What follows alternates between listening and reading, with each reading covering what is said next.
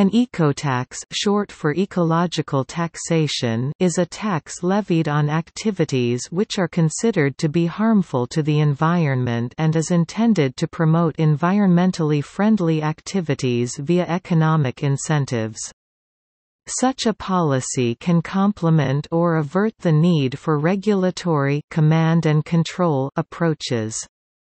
Often, an ecotax policy proposal may attempt to maintain overall tax revenue by proportionately reducing other taxes e.g. taxes on human labor and renewable resources. Such proposals are known as a green tax shift towards ecological taxation. Ecotaxes address the failure of free markets to consider environmental impacts. Ecotaxes are examples of Pigouvian taxes, which are taxes that attempt to make the private parties involved feel the social burden of their actions. An example might be philosopher Thomas Pogge's proposed global resources dividend.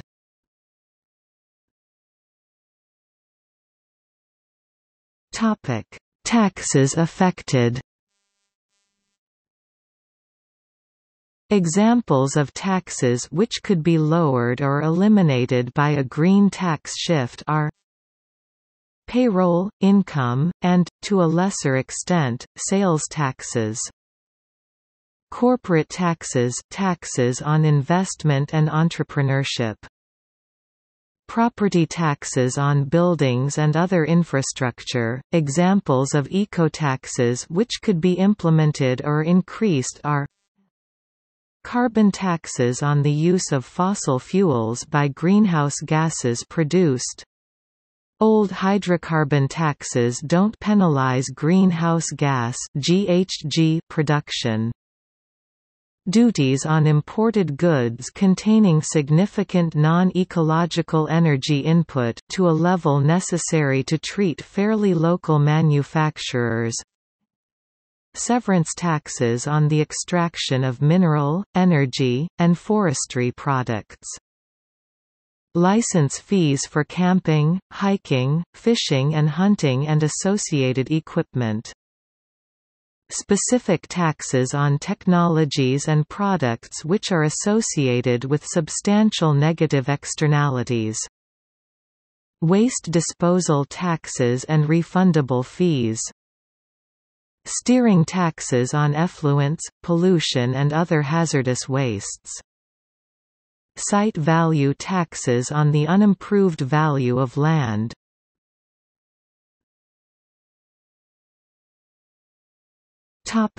Economic frameworks and strategies employing tax shifting. The object of a green tax shift is often to implement a full cost accounting or true cost accounting using fiscal policy to internalize market-distorting externalities, which leads to sustainable wealth creation. The broader measures required for this are also sometimes called ecological fiscal reform, especially in Canada, where the government has generally employed this terminology. In some countries the name is eco-social market economy. Tax shifting usually includes balancing taxation levels to be revenue neutral for government and to maintain overall progressiveness. It also usually includes measures to protect the most vulnerable, such as raising the minimum income to file income tax at all, or an increase to pension and social assistance levels to offset increased costs of fuel consumption. Basic economic theory recognizes the existence of externalities and their potential negative effects. To the extent that green taxes correct for externalities such as pollution, they correspond with mainstream economic theory. In practice, however, setting the correct taxation level or the tax collection system needed to do so is difficult, and may lead to further distortions or unintended consequences. Taxes on consumption may take the feebate approach advocated by Amory Lovins, in which additional fees on less sustainable products—such as sport utility vehicles, are pooled to fund subsidies on more sustainable alternatives, such as hybrid electric vehicles. However, they may simply act as incentives to change habits and make capital investments in newer more efficient vehicles or appliances or to upgrade buildings. Small changes in corporate tax rates for instance can radically change return on investment of capital projects, especially if the averted costs of future fossil fuel use are taken into account. The same logic applies to major consumer purchases.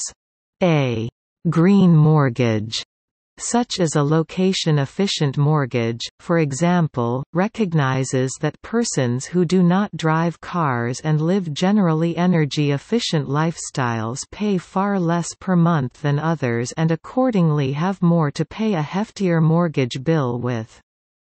This justifies lending them much more money to upgrade a house to use even less energy overall. The result is a bank taking more per month from a consumer's income as utilities and car insurance companies take less, and housing stock upgraded to use the minimum energy feasible with current technology. Aside from energy, the refits will generally be those required to be maximally accommodating to telework, permaculture gardens for example green roofs, and a lifestyle that is generally localized in the community not based on commuting. The last, especially, raises real estate valuations for not only the neighborhood but the entire surrounding region. Consumers living sustainable lifestyles in upgraded housing will generally be unwilling to drive around aimlessly shopping, for instance, to save a few dollars on their purchases. Instead, they'll stay nearer to home and create jobs in grocery delivery and small organic grocers, spending substantially less money on gasoline and car operation costs even if they pay more for food.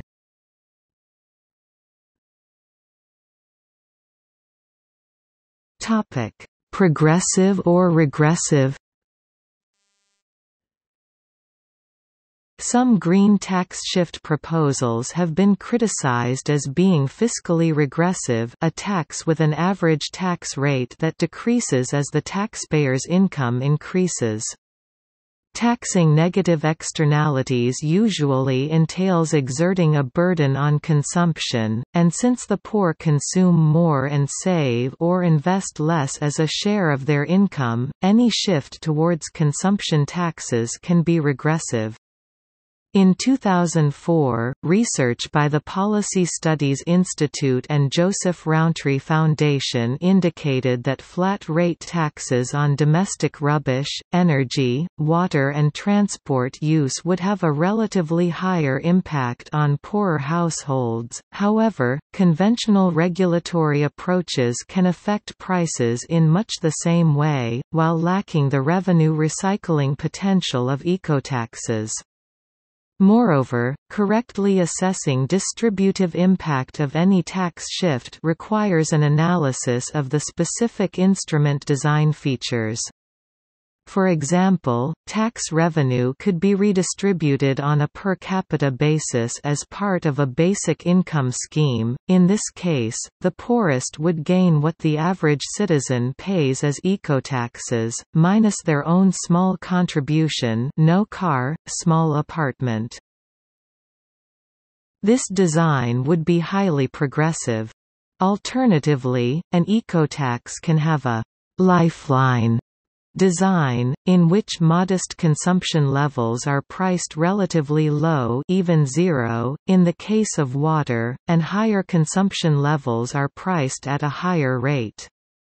Furthermore, an ecotax policy package can include revenue recycling to reduce or eliminate any regressivity. An increase in an ecotax could be more than offset by a decrease in a regressive payroll or consumption tax. Some proponents claim a second benefit of increased employment or lower health care costs as the market and society adjust to the new fiscal policy these claims, as with the claim, "'tax cuts create jobs' are often difficult to prove or disprove even after the fact. Furthermore, pollution and other forms of environmental harm are often felt more acutely by the poor, who cannot buy their way out of being receptors of air pollution, water pollution, etc. Such losses, although externalities, have real economic welfare impacts. Thus by reducing environmental harm, such instruments have a progressive effect.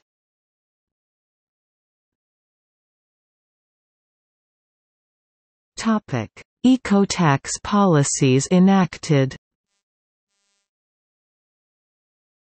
An ecotax has been enacted in Germany by means of three laws in 1998, 1999 and 2002. The first introduced a tax on electricity and petroleum, at variable rates based on environmental considerations. Renewable sources of electricity were not taxed. The second adjusted the taxes to favor efficient conventional power plants. The third increased the tax on petroleum. At the same time, income taxes were reduced proportionally so that the total tax burden remained constant. The regional government of Balearic Islands then held by an eco-socialist coalition established an ecotax in 1999. The Balearic Island suffer a high human pressure from tourism, that at the same time provides the main source of income. The tax €1 Euro per person per day would be paid by visitors staying at tourist resorts. This was criticized by the conservative opposition as contrary to business interests, and they abolished the tax in 2003 after seizing back the government. A variety of ecotaxes often called severance taxes have been enacted by various states in the United States. The Supreme Court of the United States held in Commonwealth Edison Co. v. Montana, 453 U.S. 609 1981, that in the absence of federal law to the contrary, states may set ecotaxes as high as they wish without violating the Commerce Clause or the Supremacy Clause of the United States Constitution.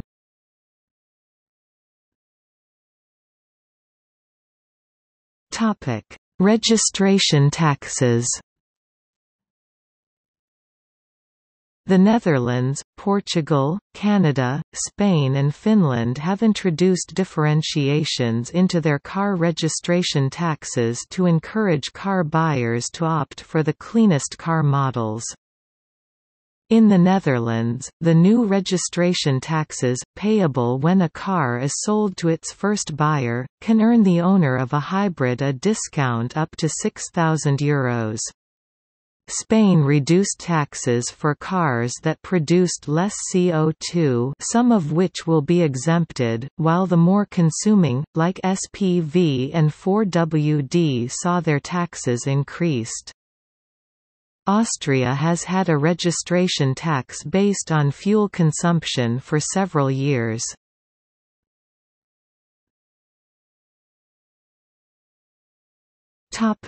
Worldwide implementation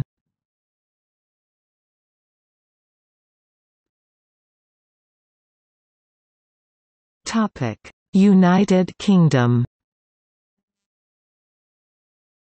In 1993, the Conservative government introduced the fuel price escalator, featuring a small but steady increase of fuel taxes, as proposed by Weizsäcker and Jesinghaus in 1992. The FPE was stopped in 2000, following nationwide protests. While fuel was relatively cheap in 1993, fuel prices were then among the highest in Europe. Under the 1997–2007 Labour government, despite Gordon Brown's promise to the contrary, green taxes as a percentage of overall taxes had actually fallen from 9.4% to 7.7%, according to calculations by Friends of the Earth. In a 2006 proposal, the UK's then Environment Secretary David Miliband had the government in discussion discussions on the use of various green taxes to reduce climate-changing pollution.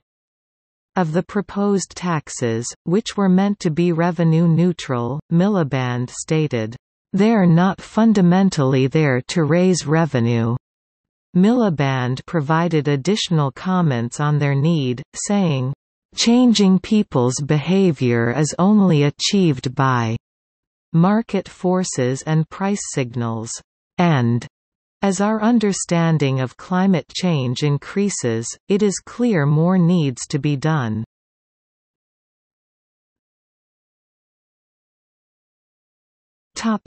Ukraine Starting in 1999, the Ukrainian government has been collecting an ecological tax, officially known as Environmental Pollution Fee Ukrainian, which is collected from all polluting entities, whether it's one-time or ongoing pollution and regardless of whether the polluting act was legal or illegal at the time.